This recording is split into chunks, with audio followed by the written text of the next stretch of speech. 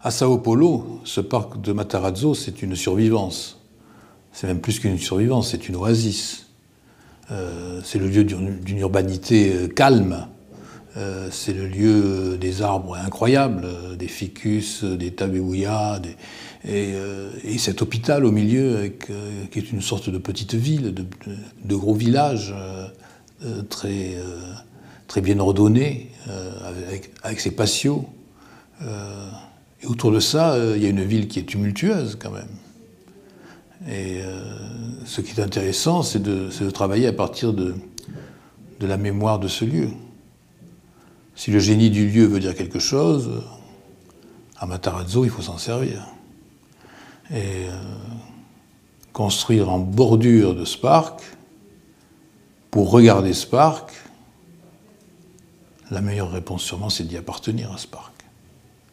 Et en fait, c'est de faire en sorte que les arbres, hein, envahissent aussi cette nouvelle construction. Et cette nouvelle construction, c'est une tour. Donc finalement, la tour va être envahie par des arbres. Et par des arbres qui sont les mêmes, ou à peu près, que ceux qui sont dans le parc. Donc, en bordure du parc, le parc va, s'étendre à la verticale, en fait. Euh, donc c'est un jeu sur le matériau aussi, puisque je trouve que le bois fait un sens particulier quand on regarde l'architecture du Brésil. En général, ce bois n'est jamais utilisé pour les grandes constructions, pour les tours. Évidemment, la tour ne sera pas en bois, mais elle sera habitée de bois, de bois vivant et euh, de bois travaillé.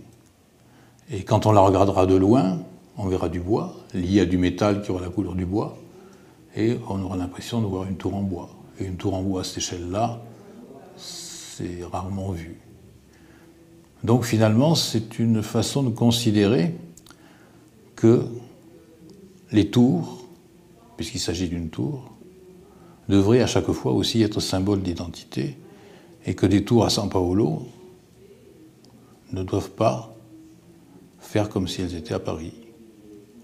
Et finalement, on doit servir de tout un art de vivre qui est déjà inscrit dans les gènes de la ville.